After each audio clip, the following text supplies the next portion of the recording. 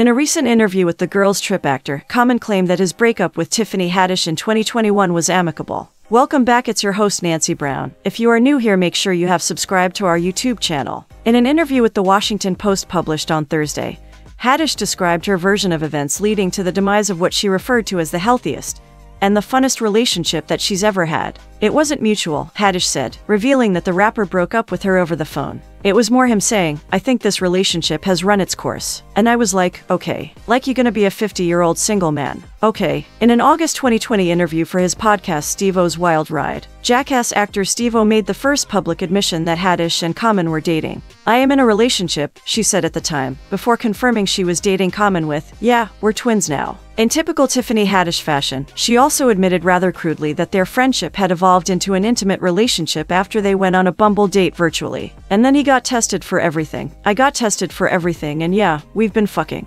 For a while, everything appeared to be going well for the couple. Common once expressed on the People Everyday podcast how much their relationship had helped him grow. I think one of the important things about relationships for me has been to really know myself more and love myself, and be able to express the things that I want, he said at the time. I've evolved and gotten to that place. Common claimed that he and Haddish were just too busy to be in a committed relationship. I don't think the love really dispersed. I just think it was like we weren't feeding the relationship. Neither one of us is gonna stop. We both care about our crafts and what we do, he explained. Common and his ex-girlfriend Kim Jones have a 24-year-old daughter together. Along with others, Erykah Badu and tennis player Serena Williams were once romantically associated with him. That's it for today. Thanks for watching. Tell us what you think in the comments section and most importantly subscribe. See you.